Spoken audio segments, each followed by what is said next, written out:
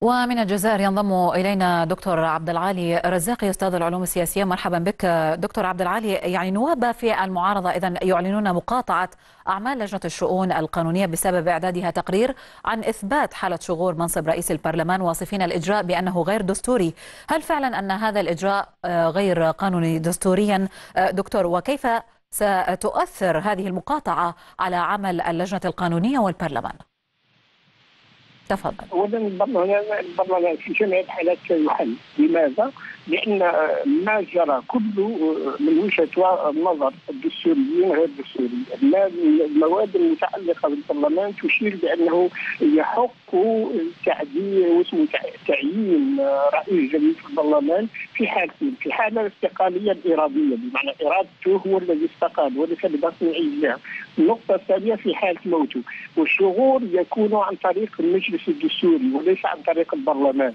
لأن الشهور لأن هذه المناصب مثلا المجلس الوطني ومجلس الأمة والرئاسة يكون الاعلان عن شهور المناصب فيها عن طريق المجلس الدستوري. وبالتالي فما حدث هو غير قانوني.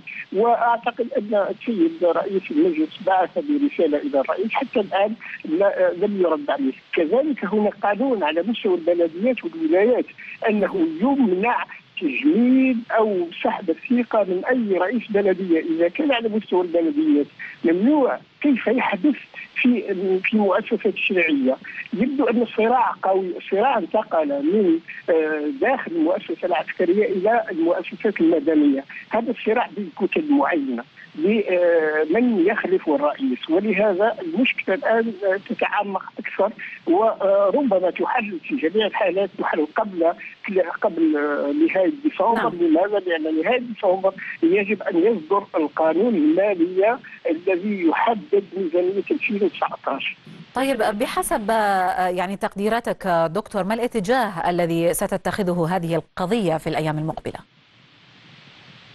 اولا اولا هؤلاء يبدو أنه ذاهبون أبعد لماذا؟ لأنه المعلومات تقول بأن الرئيس السابق اليمين زروال اتصل برئيس البرلمان وقال له بأنه يجب أن لا تستقيل أصبحت مساله صراعات قوى ولهذا هذا الشخص مجاهد ومن خيرة المجاهدين وكان من الاسماء الأسماء الكبيرة مثل بيروت يوسف الذين استشهدوا ولهذا كأسم قوي وهو يدعمه يبدو من موقف ثابت يدعمه قائد الأركان ونائب وزير الدفاع. هنا يبين حقيقة ما يجري في الجزائر. الرئيس يبدو أنه نعم دكتور. دكتور عبد العالي رزاقي أستاذ العلوم السياسية من الجزائر كنت معنا. شكرا جزيلا لك.